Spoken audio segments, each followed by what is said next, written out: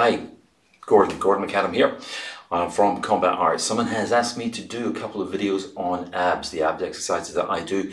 Um, I think abs are really, really important in martial arts, but actually in all your training. Um, nothing looks worse than, you know, like, doesn't matter how big your arms are, but if your if your abdomen reaches the room before the rest of you, that's not a good look. Um, so good for uh, just all-round health and well-being. I'm going through a whole series of these. I got a lot of these, not just from my martial arts training, but also from time in the fitness industry.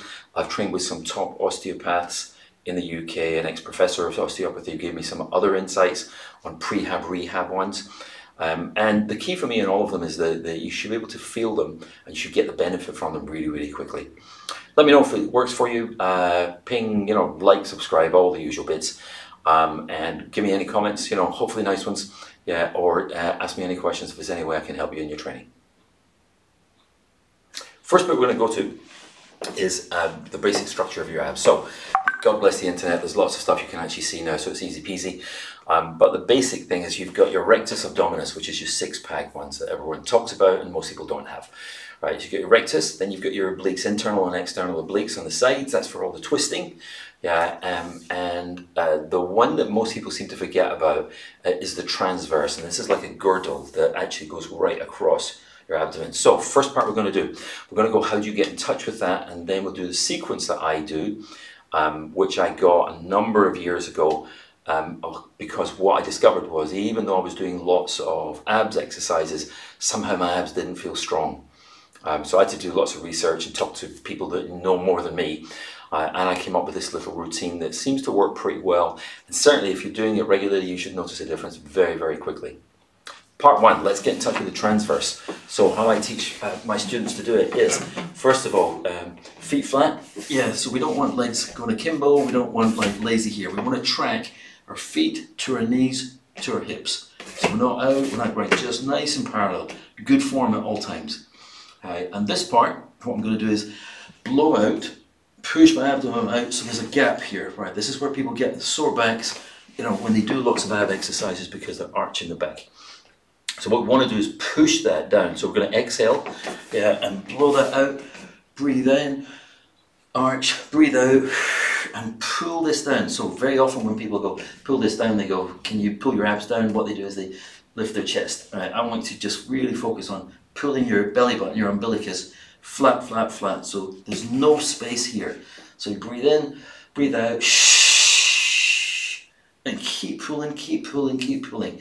So what you want to be aspiring to is to be able to keep pulling that down while you can still breathe, instead of having to like add some tension to it.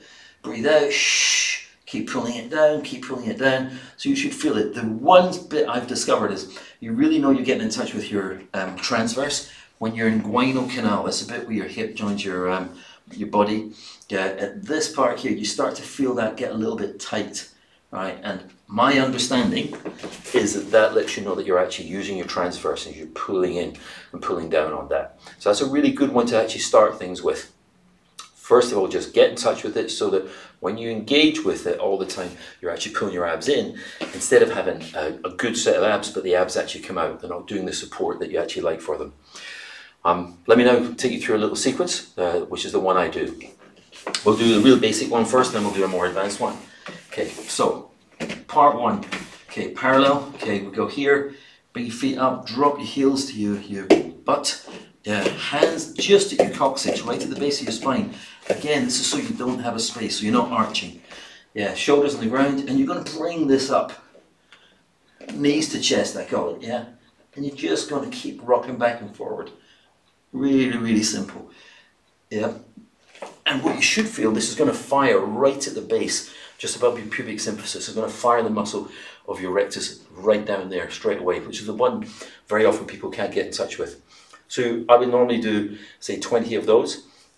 Uh, the more advanced version of that is to go legs straight, straight up. Not this, not rocking, but keep your feet above your hips. And then if you really want to like make it uh, much harder for yourself, yeah, keep your legs straight, yeah, and pull the toes down. I don't know if you can actually see that. Try one more time. Still not happening. Okay. So we're to go here. We're to go legs straight up. So you're just to lift your hips off. Yeah, and you're not going here and you're not rocking. Yeah, just straight up 20 of those at least. And again, what we're aiming for in this is time under load. We want to go work, work, work, work, work. So very often people can get, they do a bicep curl and like, you know, 20 in, 30 in, they can go, my God, they can feel a pump and it's working. A lot of people never get that in their abs. Right, so what you want to do is squeeze, squeeze. It's not the height. It's not about can I get high. Yeah, it's can I squeeze that muscle right down at the bottom. Okay, part that's part one. Yeah, that's the basic and the advanced. Part two, keep it simple on the basic one. Feet flat, feet to knees to hips, tracking, and we're just going to go touch with the opposite hand onto your calf and touch and touch and touch and touch. Okay. What we're not going to do is go touch, have a rest, touch, have a rest. Yeah, we're going to have our head back so we're not using our neck, and we're going to go here. So it's the twisting motion that I want to get that's actually going to be working and working and working. Okay, next one of the basics. So what we've done is we've fired the base, yeah, the base of the abs rectus. Yeah, then the next one we've done is the obliques, we're twisting, twisting, twisting, and now we're going to focus on the top. So we're going to do it in that sequence. Again, feet flat, parallel. Breathe out. Yeah. So bring the transverse, engage that. Head back, hands up. Right, is just for a reference point. Yeah, you lift your shoulders off while breathing this out. And then you don't rock forward, you squeeze up. So you're just going up. And if you watch, I'm not having a rest. I'm not doing one and resting. I'm going squeeze, squeeze, squeeze. All the time. So you should feel it right at the top. So I would normally, when I'm teaching a class, would maybe do three sets of those 20, 20, 20, you know, 20 of the lower abs, 20 in obliques, like 20 each side, yeah, and 20 of the upper. Yeah, then we'll move on and we'll do some other more advanced ones, yeah, as part of a sequence. But as a short sequence, that'll do you, what, a minute? You know, a minute and a half, right, okay, and it's about getting that squeeze and actually getting it to work for the maximum amount of return for the minimum amount of your time. Goodness knows I don't have much time. Who does? Okay, I hope that's useful. Let me know if there's any other bits I can help with.